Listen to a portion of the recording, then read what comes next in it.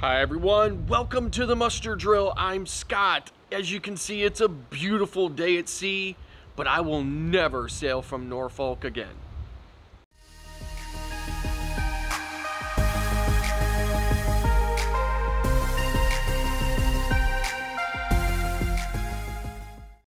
Hi everyone, welcome back. So we're on our first sea day on the Carnival Magic. It's a great, wonderful day. The weather is beautiful. Stay tuned to see what's been happening around the Carnival Magic on our first sea day. But before I do that, I really just have to talk about why I will never sail from Norfolk again. Now, we've all been in a situation where we were getting on a cruise ship and things didn't run smoothly or there were, you know, difficulties getting on board. I've had a few of those myself. I get it. I understand. This was not like anything I had ever gone through ever before. I had read in the weeks coming up to this cruise that, you know, other people on the previous sailings had said that it was, you know, a nightmare situation, a terrible situation. And I took all of that with a grain of salt because I've been in these situations before.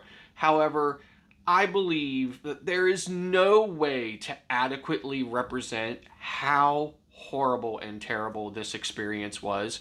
So I'm going to be putting a Google Map image up here. So when you see this image, you're going to see that on the left side of the image, there is a black line.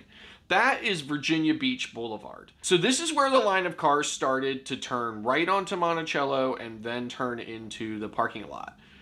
The red line represents how far you had to travel through the parking lot before you got to where you paid, which was $90 for this six day cruise. The blue X represents where the first available parking spaces were, which were all the way back at the front of the parking lot. The green X underneath the down below at the opposite end of the parking lot, below the red line, that represents where the uh, shuttle buses were, where you would go to drop your luggage and then you would stand in this incredibly long line, which I'm going to be throwing an image up here that shows just a small part of that line, a really long line that you had to wait into. So that was like two hours and six minutes just to get into the parking lot. The shuttle ride was about, you know, I don't know, about five or 10 minutes. It wasn't very long at all. Now, if you were on that shuttle and you thought to yourself, okay, so the nightmare is over. No, actually not. Just phase one of the nightmare. Phase two was actually at the port. So I'm going to be showing some other video here. It's going to be pieced together. It's going to do a terrible job at representing how long this line was. And it definitely will not represent how slow this line moved. So when you finally got to the end of this line on the outside, you could take the elevators up or you could take the stairs up, but then there's this bridge that's up there and you may see the bridge in this video or so. Then you then the line started again on the bridge. So then from the time, so when you got to the end of the bridge and you were able to get into the building, at that point, there was then a line queue. Once you got through that, and you went through the metal detectors, then there was another set of line queues. I never found out what the problem was. I never found out why it took so long. It was just insane. So it took me six hours from the time I got in line at the parking lot to the time I was walking into my cabin. Six hours is excessive. It's beyond acceptable. There's just no reason why I need to sail from Norfolk and go through that kind of experience ever again. So I will never sail from Norfolk ever again. So here are some highlights from around the ship on our first sea day.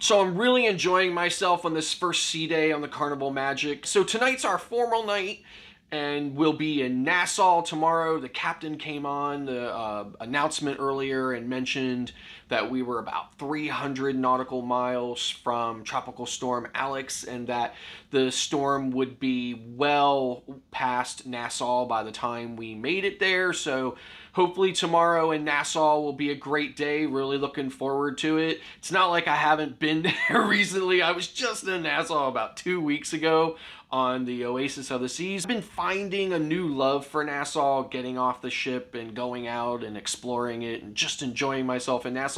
So I think that's going to do it for today's video. Thank you very much for tuning in. And if you like this video, don't forget to click that like button. And then don't forget to click the subscribe button. It won't cost you anything. You click it once and you're done, and it'll really help us out a lot. And then don't forget to click that notification bell so that you know every time we upload a new video.